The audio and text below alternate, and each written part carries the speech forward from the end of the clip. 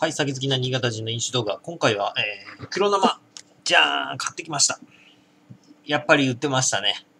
あのー、黒生がね、えー、今年の9月で、えー、販売終了ということで、ね、えー、葬式、お葬式をね、行いたいと思います。うん。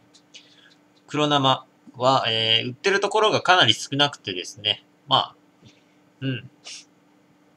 まあ、なんとかね、あの、僕が、えー、よく行く酒屋で、えー、前売ってたの見て、あ、ここなら売ってるかなと思ったら、やっぱり売ってましたね。それじゃあ、お葬式。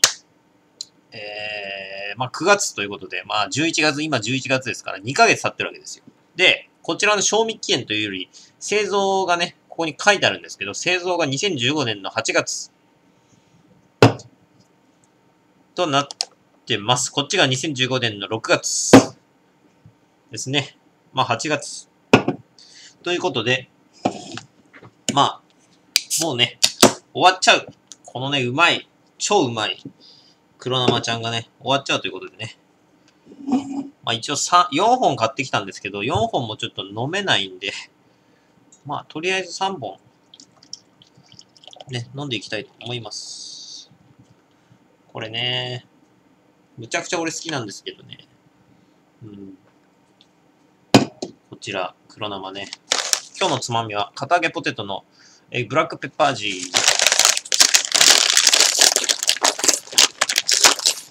また一つね、まあ残念ながらね、俺の好きな、ね、ビールが、まあお酒がなくなってしまうということで、それは乾杯今までよく頑張ってくれた黒生。まあ結局人気がないんでしょうけどね。多分ね。うん。まあ大体がして、黒ビールっていうのがあんまり人気があるのかもよくわかんないんですけどね。やっぱり、普通のビールに比べたらやっぱ人気ないんですかね。黒ビールはね。うん。これ一番うまいと思う。コクがあって。あのね、スーパードライのドライプレミアムじゃねえや。えー、ドライブラック。もう全然ま、まずいね。あと、エビスの黒とか、もうあれ全然美味しくない。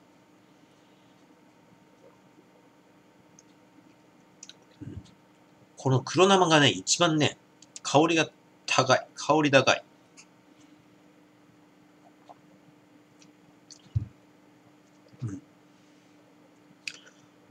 香りがね、やっぱりこの黒ビールの、あの、ほろ苦い感じがね、すごく出てる。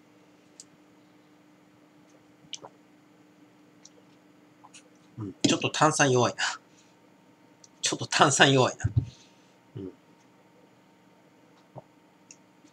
これ缶のまま飲んだ方がいいかもしれん、これ。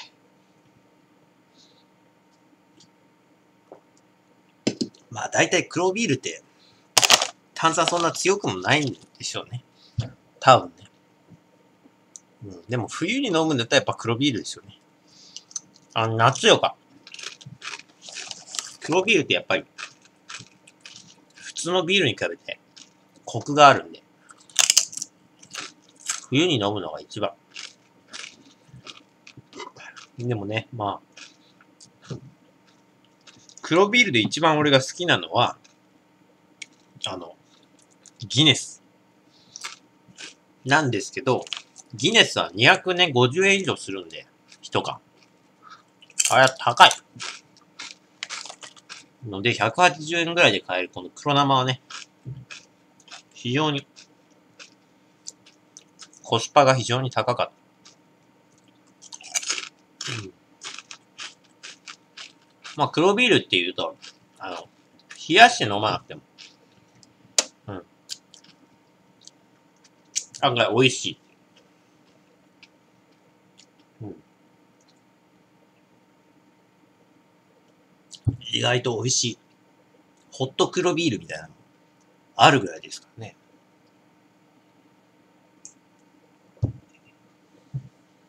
まあ、そ、うまあそうなんですけど、俺は温めて飲んだことはないですね。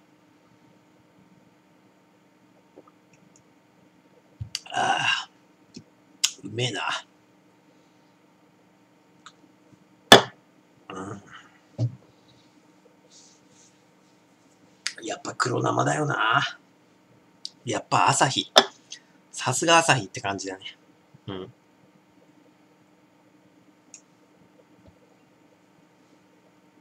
あの、スーパードライのようにキレがあるってこともないんだけど。まあ、さすが朝日が出した、ね、最初に出した黒ビールと、今のね、朝日のね、ドライ、ドライブラックは、あれはだダメですけどね。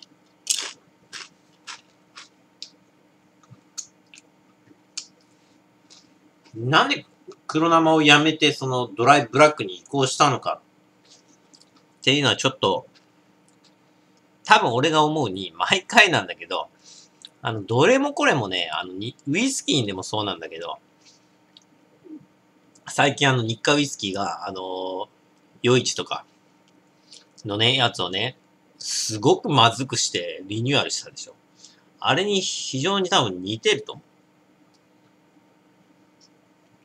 おそらく原材料の高騰かなんかで、あの、これを作るための材料が高騰したんでしょうね。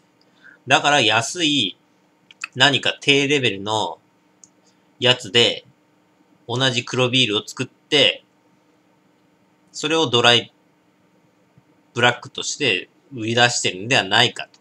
だからおそらくこの黒生は、あの、ちょっと高い。結局原価が高くなったんです。多分。おそらく一缶あたりの原価が高くなっちゃって。うん。で、しゃーなしに、ね、多分、安上がりの原価がもうちょっと高い製造方法と原料を使ってるんじゃないかな。とは俺は思うんですよね。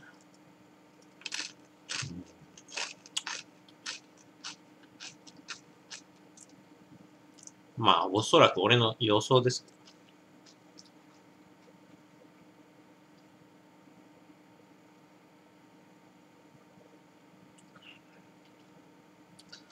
これが一番うまいもん。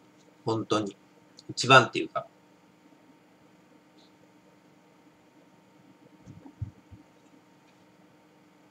あの、普通のビールの中だと。値段って価格帯的な意味で。だってさ、プレミアムモルツのブラックとかさ、エビスのブラックはさ、普通にさ、あの、値段200円以上するでしょ。こっち180円ぐらい、20円ぐらい安い。20円、40円安い。それでこのうまさだから。むしろエビスの黒とかの方が、むしろまずいんだよ。個人的に。うん、なんかね、香りがね、弱い。うん。コクもね、なんか弱い。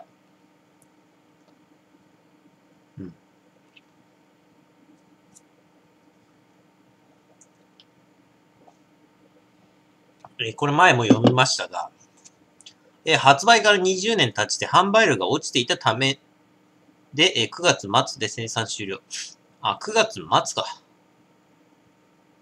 9月30日で、あれしたってことか。なるほどね。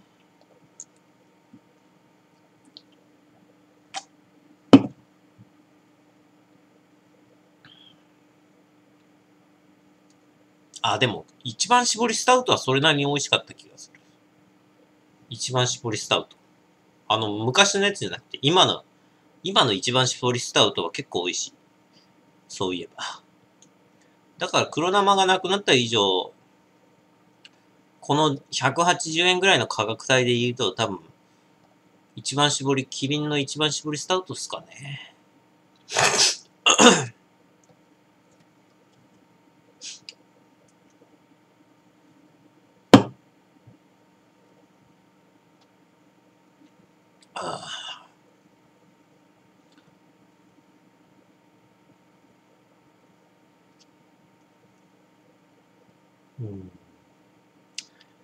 と、アサヒビールはアサヒ黒生の他にもドライブラックというスーパードライの黒ビールを販売している。ドライブラックは北米産ホップの使用比率を高めて、爽快さを増し、氷点ろ過製法で雑味のない味わい。つまり、まあ、この、これと方向性が全く違うわけですよ、多分。こっちはね、あの、コクがあるんですよ。黒生は。だけど、多分、朝日の、多分っていうか、なんドライブラックは普通にまずかったんで、あの、明らかにね、あの、コクがない。うん。えー、アサヒビールはドライブラックを世界の常識を変える辛口の黒ビールと紹介しており。なるほどね。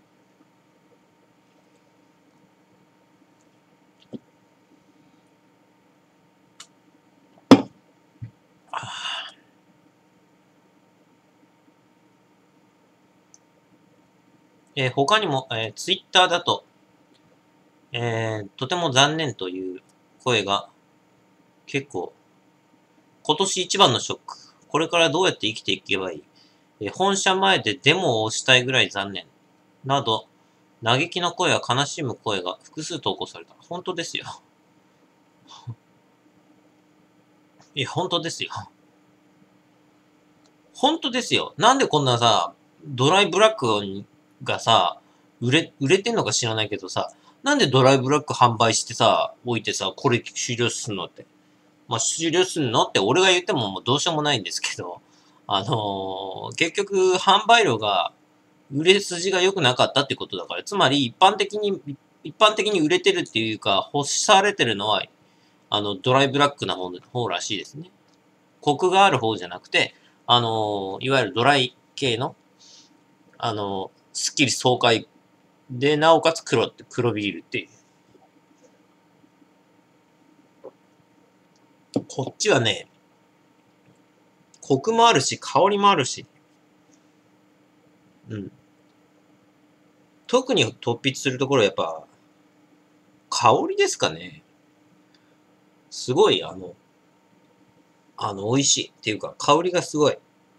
あのー、ほろ苦い香り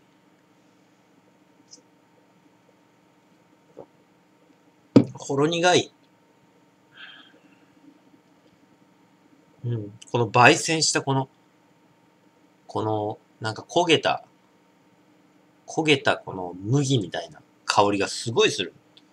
すごいんですよ、これは。マジで。俺あの、昔ね、これレビューしたことありますけど、ニコニコ、あの、四つ目で、だとあれないけど、あの、ニコニコ動画に多分あると思うんですけど、これは5つ星にしました。これは本当に美味しい。うん。のでね、非常に確かに、あの俺と同じ考えの人はいくつかいるみたいですけどね。まあ、それが少数派だってことが、まあ、悔やまれるとは。うん、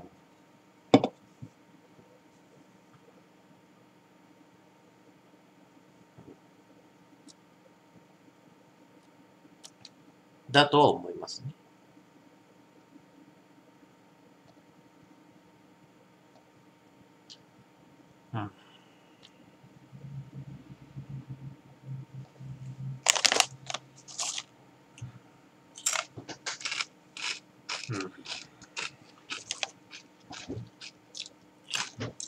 残念ですね。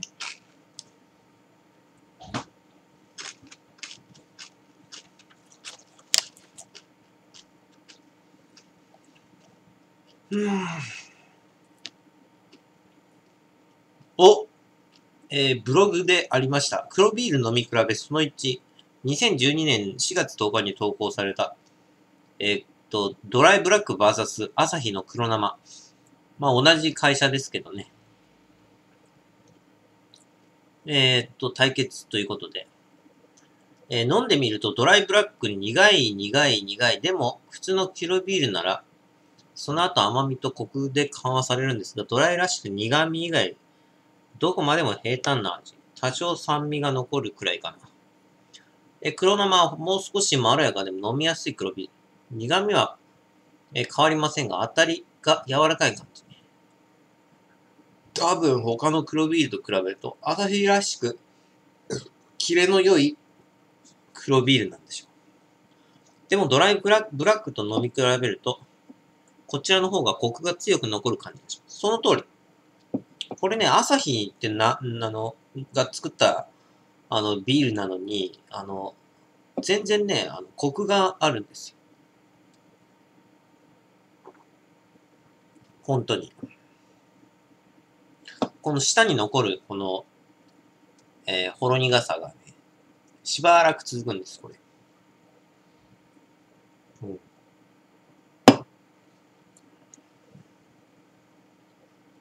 うん。結論、ドライブラックは確かに新しい味です。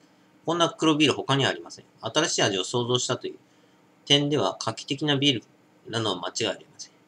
でもドライを好む人はこの苦さに耐えられないだろうし、黒ビールを好む人はこの平坦さに我慢できないでしょう。キレの良い黒ビールな黒生がベストです。ちょっとよ、言ってることがちょっと若干、あの、あれなんだけど。この人はなんか、キレがいいって言ってるんだけど、キレ、キレがいいのにコクが強く残る感じがしますっていう。なんか矛盾したことを言ってるんですけど。あの、キレがいいっていう、いいのと、その正反対なのがコクがあるっていう言葉なんですけど。うん。キレっていうのは結局あれだよね。コクの反対だよね。キレがいい、イコール、コクがないっていうことだと俺は思ってるんですけど。そうではないんでしょうか。俺はわかんない。俺もなんかわかんなくなってきた。多分そうだと思うんだよね。まあ、キレとか言われてもね、何なのかっていう話なんだけど、まあ、ググりますけどね。キレと、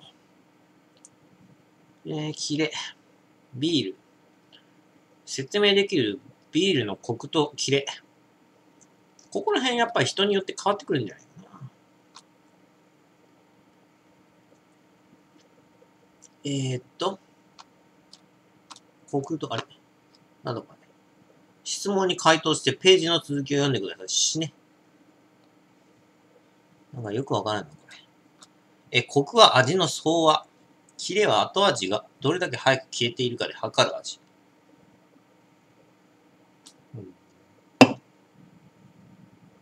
コクは味の相和。はい。後味が、キレは後味がどれだけ早く消えるか。嘘、そうなの？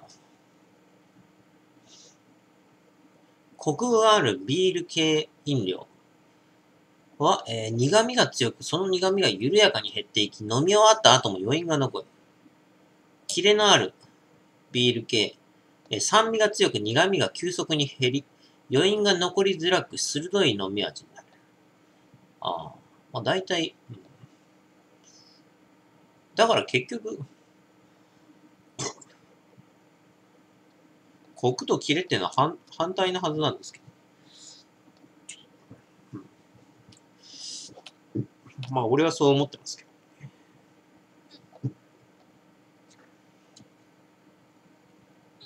ど。うお急激にゲップが。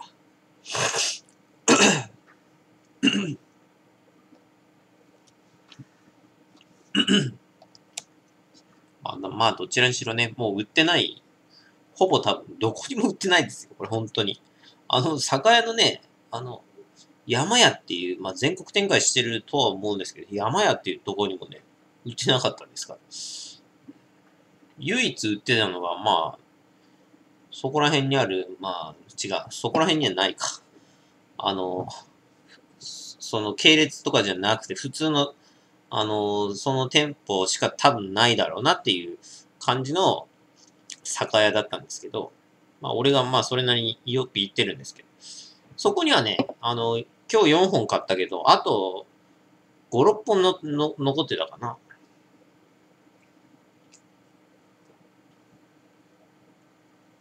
多分売れてねえんだろうな。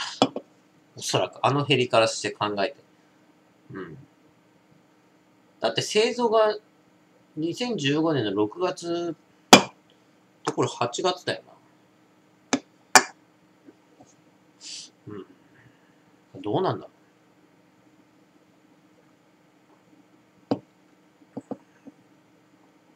う。わかんない。うん。わかんないけど。でも、ぶっちゃけた話、逆に言うと、あそこしか売ってないもん。ここら辺だと、黒生売ってるとこがね、そこぐらいしかないんですよ。だから逆に黒生が好きな人は、あそこに、そこの、あ、そこに集まるはずなんですけどね。そこに集まって買い漁るはずなんですけど。全然買い漁られてなかったってことは、だって9月末に、あの、製造停止してるわけだから、俺がね、俺と同じように、あのーもう終わっちゃうんだから、買い占めろみたいな。まあ俺、買い占めることまではいかなかったですけど。ね、そういう人間が現れてもおかしくないんですけど、何にも減ってなかったからね。あのー冷蔵庫の、なんか、普通に、びっちり詰まってたからね。黒生ね。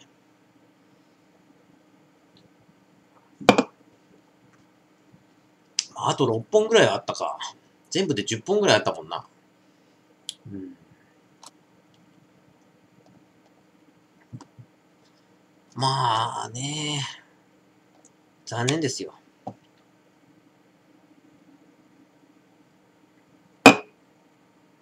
えっ、と、2チャンネルの朝日ビール黒生の生産終了っていう、えー、スレがありましたんで見ます。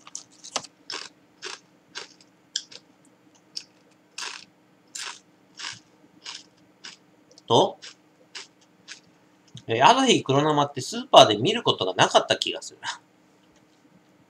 本当だよ。スーパーで見たことない。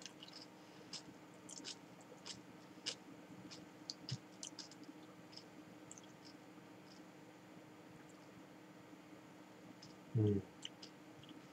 でもやっぱり、最近は一番搾りスタウトだけど、ああ、これよく買ってた。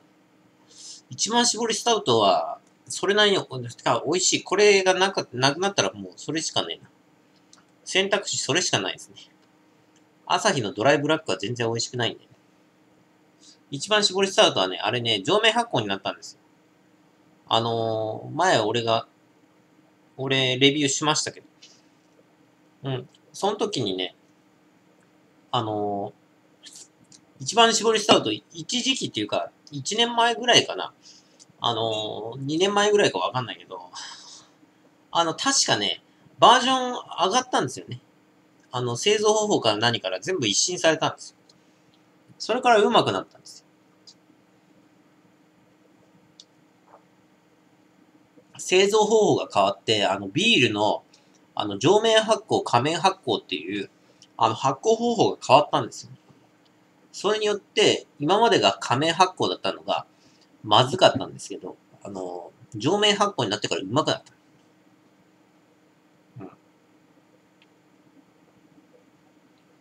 うん。珍しいですよ。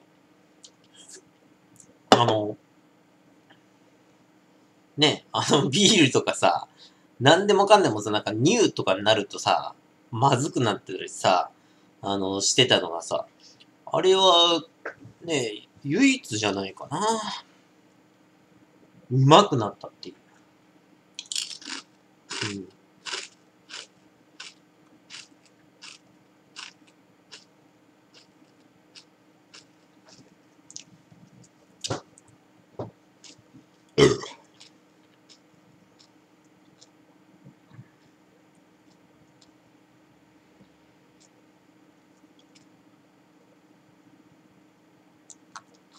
えーっと、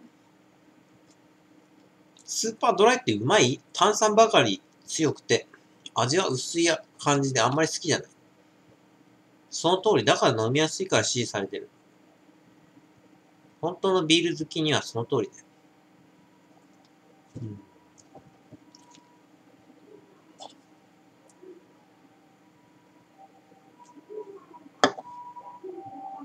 まあね。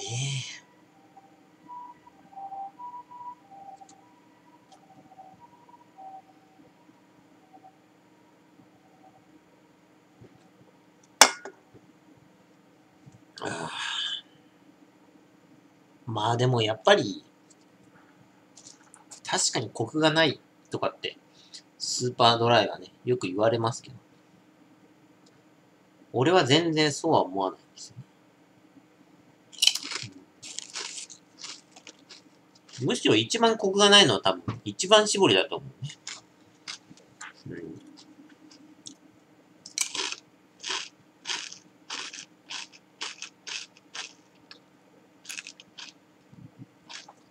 一番搾りはね、むちゃくちゃね、コクがない。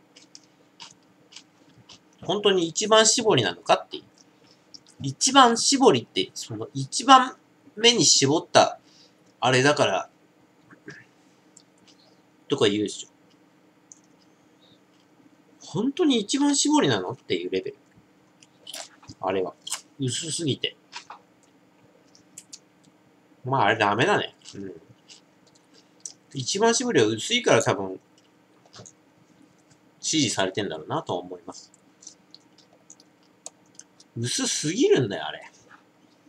本当に薄いもん。だから一番搾り、あ、あの、キリン、キリン、キリンの一番搾りが好きな人っていうのは、多分、飲みやすいから好きなんだと思う。俺だってキリンだったら同じキリンだったらどう考えてもラガーだ。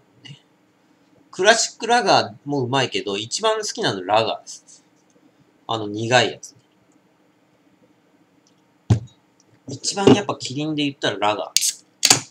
まあ、朝日スーパードライも捨てがたいけど、やっぱ、瓶で買うっていうか、ケース買い？瓶のケース買い、大瓶のケース買いするっていうと、やっぱり、あの、ラガー。キリンラガーっす。ね。うん。あれが一番安定してうまい。あれは安定のうまさ。うん。あの、大瓶でね、ケース買いしたいってなるとね、うーんって考えて、どれにすっかなと。一番搾りは100%ないんです。まあ、札幌黒ラベルもまあなくもないんだけど、あれは苦くないんだよね。うん。で、やっぱり、苦い。苦いっていうのが結構好きなんで。ビールで苦すぎるのは嫌いなんだけど、普通に苦いのは好きなんで、やっぱラガーだな。うん。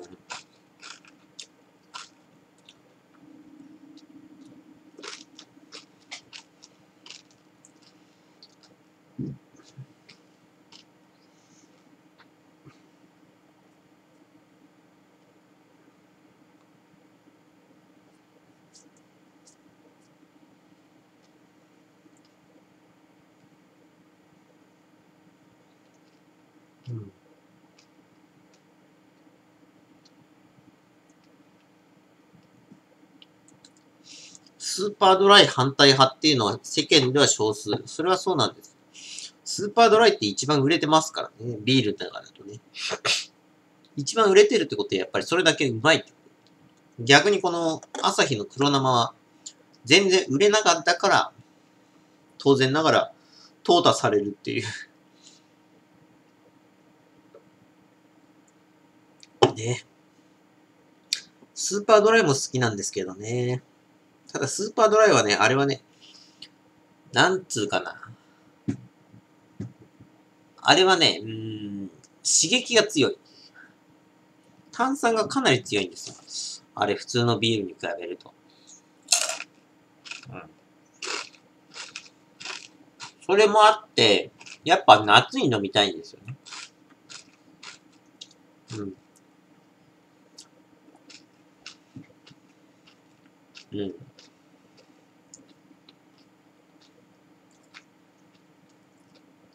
でもやっぱこの黒生は、夏はいいかな。うん。冬です。うん。この、うん、やっぱり、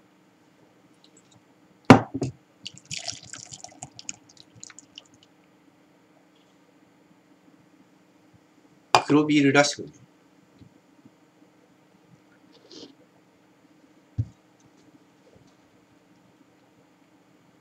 炭酸なくても全然飲みますよ。あの、スタウトじゃねえよ。ギネス。ギネスビールのね、うまさはね、泡にあるんですよ。あれはね、わざと泡を立たせて飲むのが俺の中の飲み方ですね。あえてこう、ブワー立たせるんですよ。で、ブワー立たせるけど、あれ、あれ、ギネスビールって全然泡が立たないビールで有名なのか知らないけど、少なくともまあ、俺の中で有名なんですよ。全然泡が立たない。というより、そもそも炭酸があんまりないので、あのー、泡が立たない。だけど、立った泡はめちゃくちゃ、キメが細かくてクリーミーなんですよ。ほとんど本当にクリームかと思うぐらい、クリーミー。でね、それを飲むと、俺泡普段ビールだと嫌いなんですけど、あれがむちゃくちゃうまいんだ、ギネスは。だから本来でもないんだけど、あのー、黒ビールっていうのは、泡を飲むもんじゃないんですよ。あえて泡を立たせて、あの、刺激を求めるもんじゃないんですよ、結局。ここの部分の、中身の部分の炭酸が強くても、大して美味しくない。別に炭酸弱くても全然飲める。むしろ炭酸がない方が味がわかりやすくて、こ、あの、炭酸がない分ね、あの、味がわかりやすい。てか、詳細にわかる。味がわかるっていうより楽しめるっていうのかな。うん。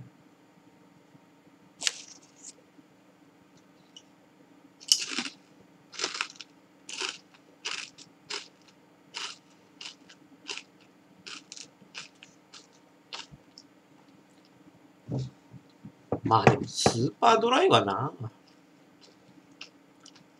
だって、あれスーパードライぐらいですよ。あの、鮮度にこだわったスーパードライってあるでしょ。なんか3日以内になんとかあかんとかっていう。ね。あれほんと飲んでみると、うまいなってわかるもん。やっぱり。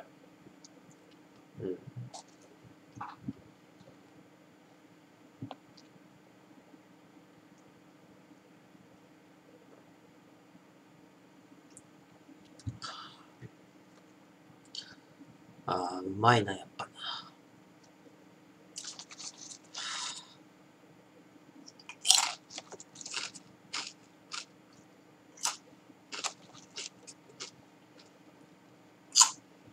ああ、朝日のね、ザ・マスター。あれうまかったですよ。今はあの、樽生しかなかった気がしますけど、あのザ・マスターうまいよな。あれもまた販売終了しましたけどね。ザ・マスターうまかったな。これな。朝日のザ・マスターな。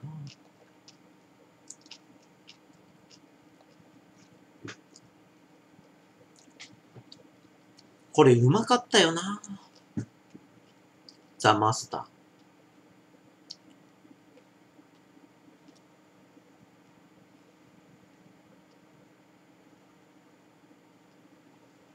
えっ、と、ザ・マスターが販売したのが、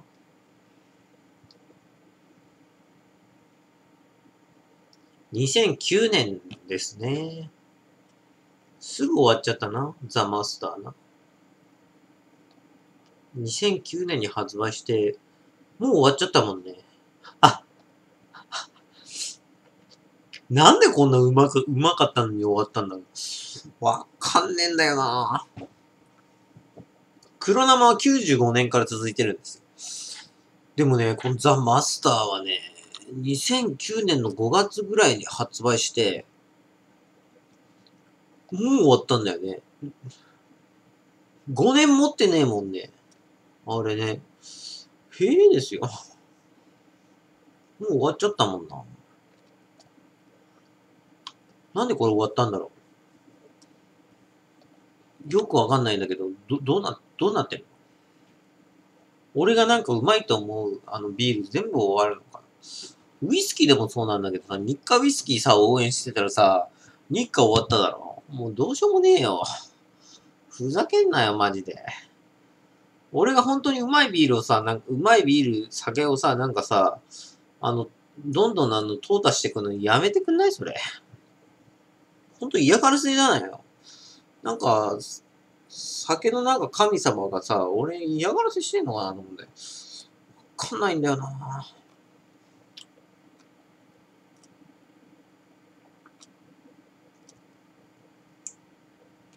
ああ、うま。この、この飲み方もいいよね。この炭酸をブワーって抜いて飲むと、ああ、またこの違う味がね。このマイルドな口当たりと。ね。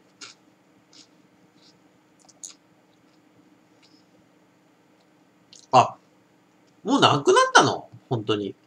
樽生もねえのかもしかして。ザ・マスターって。いい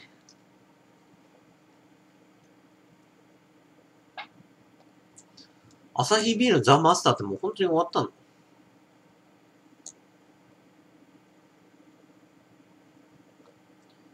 ウィキ、ググってもない、で、出ないんだよ。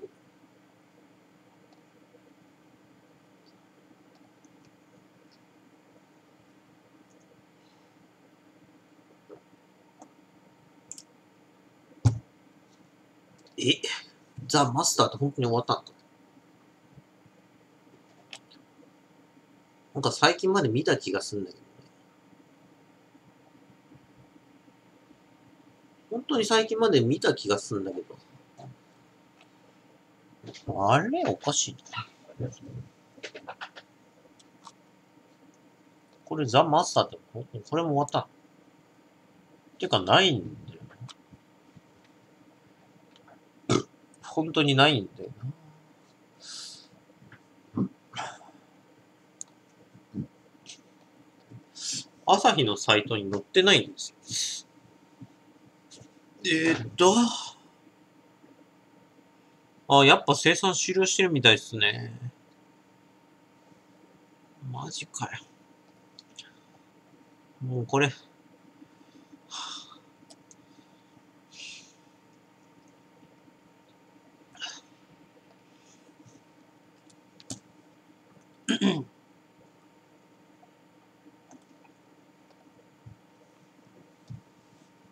本当に生産終了してるみたいですね。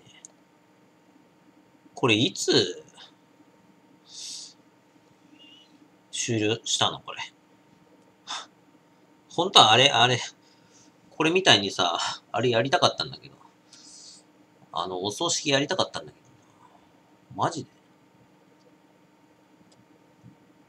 終わっちゃったの？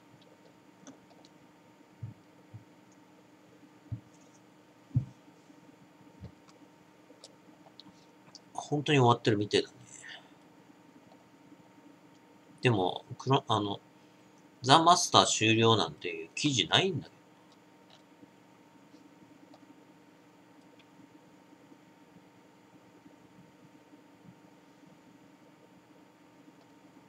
ああ、ほんとこ、今年入ってぐらいでもなくなったらしいっすね。今年入っ今年中に亡くなってるみたいですね。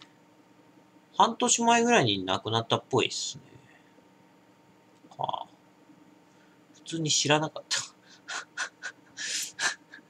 いや、なんかね、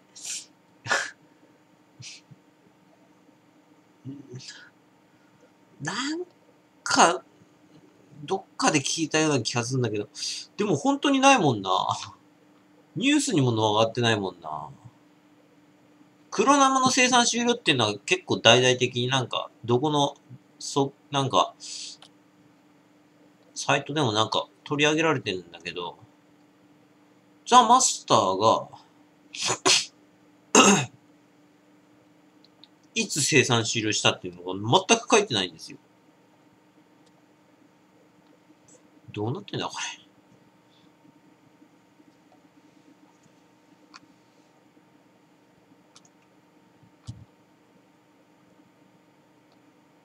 なんか、なかったことになってる。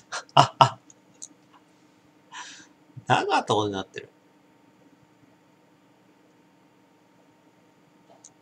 あ、えー、2013年に、以前にザ・マスターが生産終了したらしいんですけど、あの、また復活したっぽいんですけど、また生産終了したってことか。どう言ってんだよ、これ。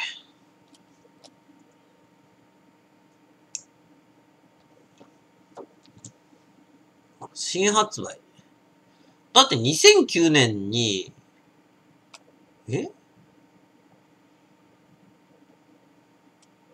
?2009 年に普通に発売して、それで2013年に一回終了したんだけど、また販売したんですよ。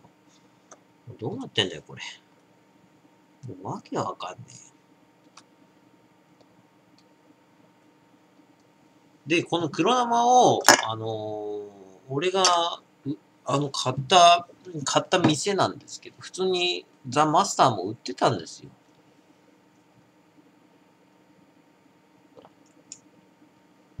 なんですけど、売ってたんですね。確かによく考えてみると、もう売られなくなったなって、なりましたね。これうまかったよなザ・マスター。確かにうまかった。俺もこれレビューしました。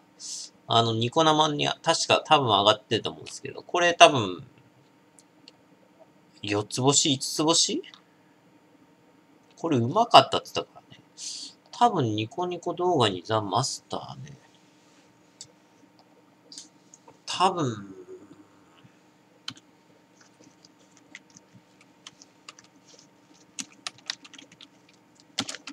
五つ星じゃねえかな。これうまかったからな。これうまかったからな。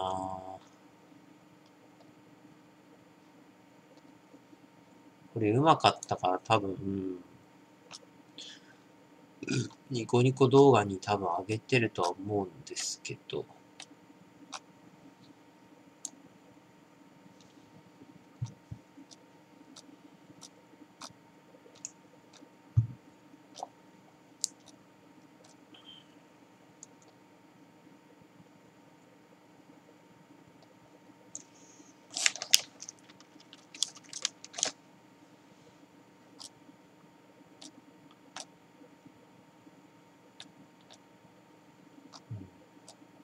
ねえかな。あ、あった酒好きな俺の飲酒動画のパート106。ほら、5つ星。2011年に飲んでますね。2011年の7月の15日。こちらがね、評価5つ星ですよ、やっぱり。これだってうまかったもん。だと思ったで、俺が飲んだ酒好きな俺の飲酒動画パート56で、朝日の黒生こちら、えー、飲んでますが、味の評価が5つ星ですよ。やっぱり。だよな。これだってうまいもん。これうまいもんだって。どっちもうまいもんだって。やっぱ5つ星だったか。うん。ザ・マスターうまいっすよ、確かに。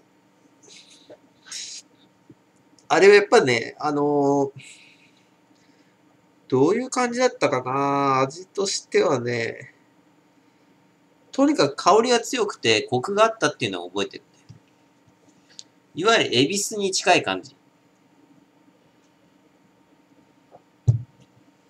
でもまあ、でも、恵比寿に比べると、恵比寿に比べるとね、苦味は少なかった気がする。うん。まあでも、うーん、うまかったよな。ザ・マスターもな。本当に。でもこんなこと言ってると、エビスまでね、生産終了しちゃう可能性がね、なくもないんで。まあ多分ないと思いますけど。エビスはあれだから。人気、人気だから。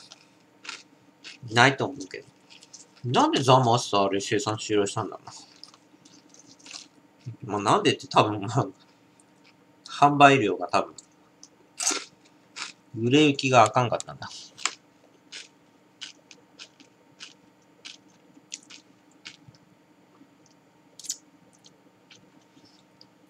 朝日のプライムタイム。朝日プライムタイムってどんなやつだったっけ？あ、俺これ多分飲んでん、飲んだ気がねえな。プライムタイムこれ飲んでないと思うな。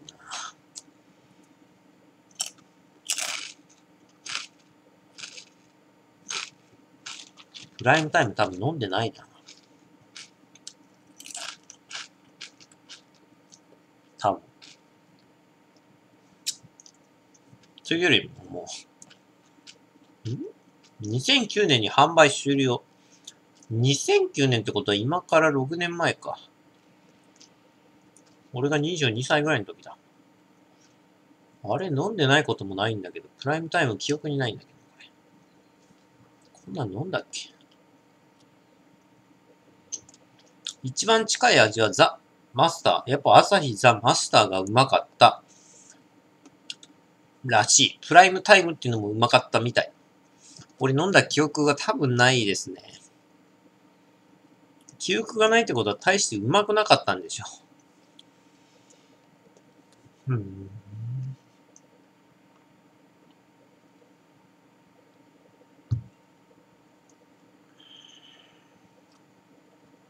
まあ一応ね、ザ・マスターはね、プレミアムビールですか。あの、エビスとかと同じた部類の高いやつ。220円ぐらいだったんだよね。ザ・マスターね。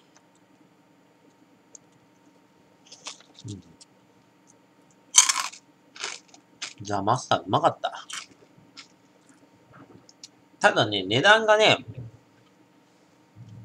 高かっただったかな。でもどうなんだろう俺記憶にないんだ。どうだったかな？まあ、若干確かに高かった気もするんだけど。ザ・マスターとエビスどっち飲みますかって言ったら多分エビス飲んでたんで。だから俺、ザ・マスターあんまり飲んだことなかった。うまいんだけど確かに値段が多分同じだったらエビスの方がうまいなと思ってたんだよね。でも確かにうまかったのは確かなんだよ。うん。ああ、しくったな。ザ・マスターが、しまった。葬式するの忘れてたぜ。でもさ、結局さ、このさ、ビールの世界ってさ、売れるか売れないか。この二つだよね。ビールの世界ってさ、って言ったけど、別に何の世界でもそうだよ。何の世界でもそうだけど、売れるか売れないかっていうのは結構重要な、あれですよね。うん。うまいかまずいかじゃないんだよ。うまいかまずいかじゃないんだよ。これがね、そうはしないんですよ、多分。うまいイコール売れるっていう世界じゃないんだよ、これは。結局ね、あの、金がかかってるかどうかとかにもある。あの、CM がすごいかとか。だから、プレ、あの、サントリーのプレミアムモルツとかは売れてるじゃないですか。でも、あの、プレミアムモルツでぶっちゃけた話、そんなに美味しくないんですよ。まあ、まずくもないんだけど、まあ、うまくもないかなっていうこともないけど、まあ、ただの香り、うん。まあでも同じ価格帯のエビスに比べるともう、霞んじゃうよね。全然。エビスに比べたらもう、あの、足元にも及ばないぐらいのレベルなんですよ。うん。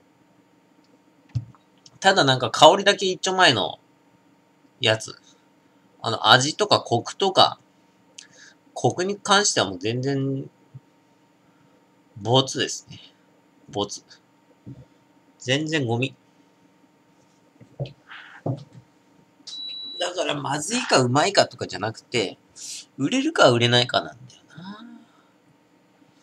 だから、黒生だって、まあどうなんだろう。まあ、一般的に一般人がね、まずいです、黒生って言ってるんだったら、まあしょうがないですけど。なんかそれと同じなんだよ。いかにその顧客をうまいって思わせるかっていうのも重要なんですよ。だからサントリーは割とそれがうまい。うん。あとスーパードライが売れてる要因にもなってる。あの、CM がバカバカ CM してるでしょ？あれ CM のやっぱり、してる量とかもあるよね。当然ね。だから CM が全然しなければ、まあ売れないっていうのは、まあ割かしほぼ比例するんですよ。うん、CM しなきゃ確かに売れない。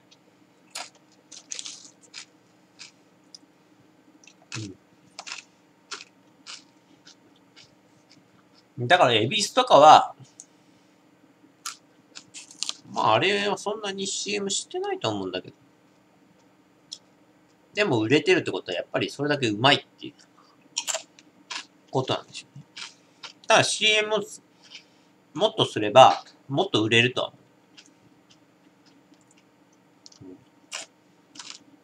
でも、エビスはもう、プレミアムビールとしても、か、あの、形がね、世間にも浸透しちゃってるから。プレミアムビールといえばエビス。っていうぐらい浸透しちゃってるから。だから高いビールイコール、エビス。うまいビールイコール、エビスってなっちゃってる。もうだから、まあ CM してもしなくてもあんまりあれかなっていう感じはするんだけどね。だけど、こういう黒生みたいな CM もされない。ね。ただでさえ黒ビール。黒ビールって言うとあんまり、その、飲んだことのある人があんまり少ないわけでしょ。で、癖があるわけだ。そうなるとやっぱり、こういう CM がされないと結果として売れなくて、まあ、生産終了せざるを得ないと。うん。朝日ザ・マスターも、多分あんま CM されてねえから、もう、あの、何それっていう人が多いと思うんだよ。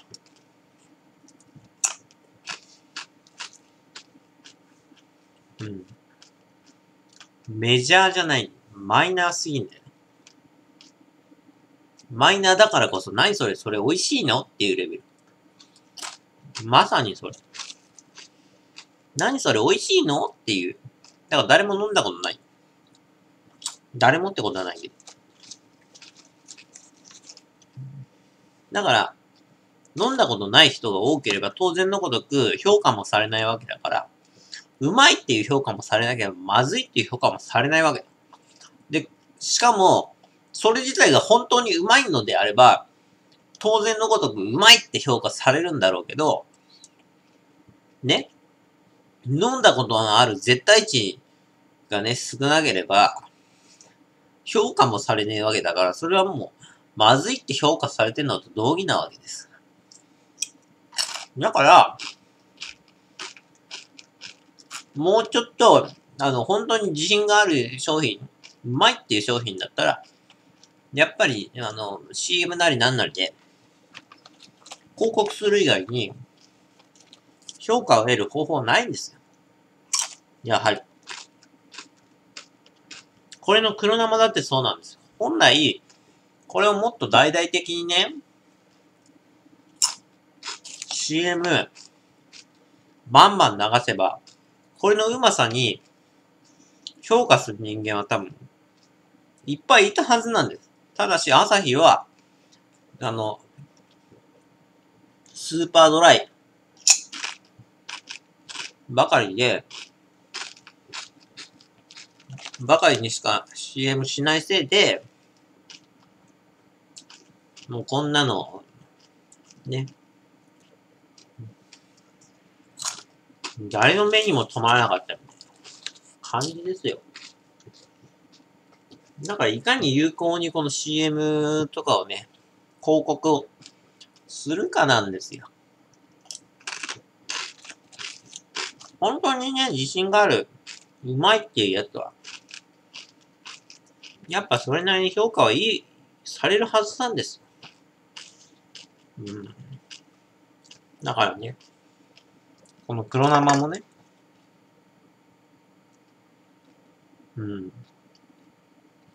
こんなうまいビールがあったんだなと。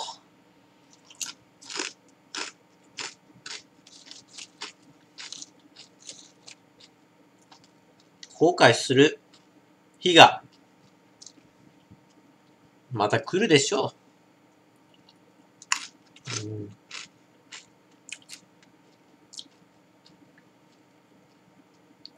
本当にこんなビールあったんだなと。これが180円でね、飲めるこの時代ですよ。本当にすごい。時代が、ね、未来になって、徐々にこう分かってくるはずです。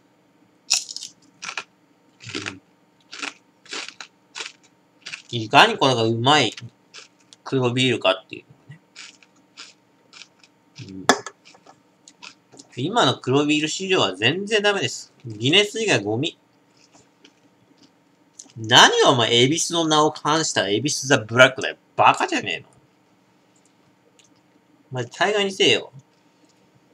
全然エビスの良さな何もないじゃん、あれ。ブラック。エビスブラック。バカやん。何言っとんの頭おかしいんちゃうあいつ。とりあえず、エビスの名を冠しとけばいいんじゃないっていうレベルじゃん、あれ。売れるだろうっていう魂胆が見え見えだよね。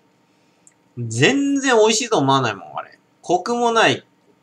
香りもない。エビスといえばあの香り。じゃねえ。コクですよ。コクと苦味。全くない。わざわざエビスっていう名を出して、とりあえずエビスの名のね、あの、エビスが売れてるからエビスっていう名前にしとけば売れるだろうっていう、魂胆見え見え。全然美味しくねえ。あと、アサヒのスーパードライのドライブラックもあれも同じだね。とりあえずドライ、アサヒスーパードライが売れてるからドライって名前つけとけば、売れたら、売れるだろうっていう、そういうこんな見え見えですよ。バカ言えと。全然うまくねえじゃん。で、ドラ、あの、プレミアムモルツのブラック。何あれ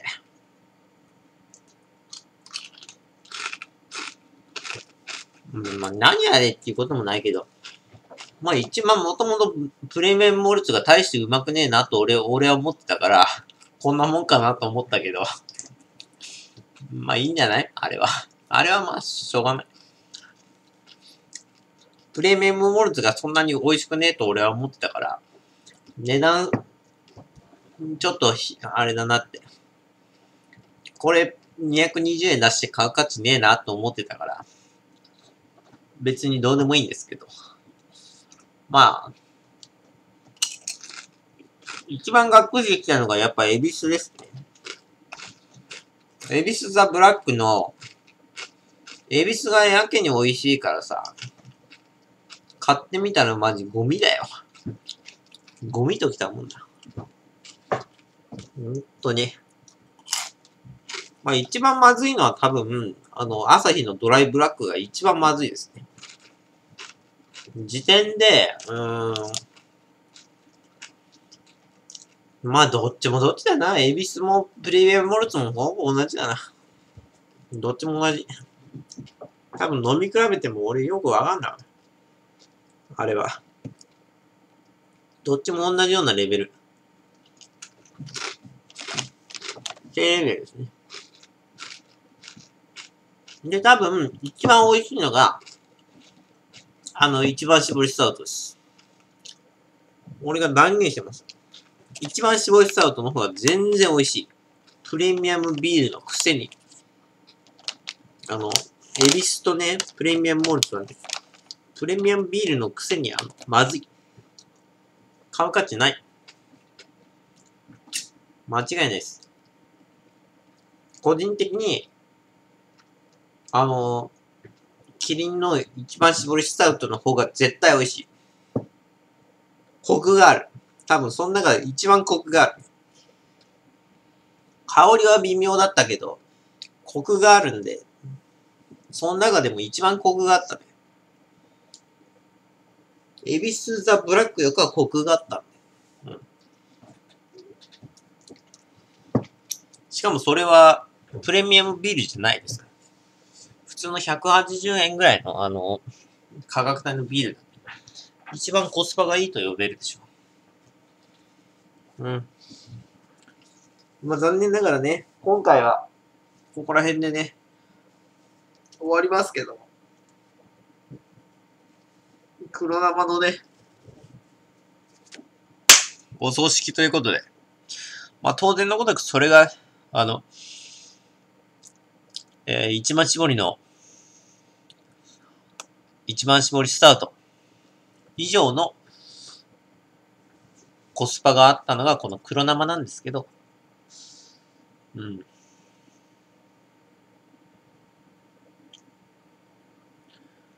ね、これをね、目に焼き付けて、まあ、こんなビールもうまいうまいビール、こんなにうまいビールがね、あったんだということをね、えー、この腰、腰つべをね、通して、皆さんにね、残してね、目に焼き付けてもらいたいと思います。こんだけうまい黒ビールがね、なぜ終わってしまったのかということと、ともに、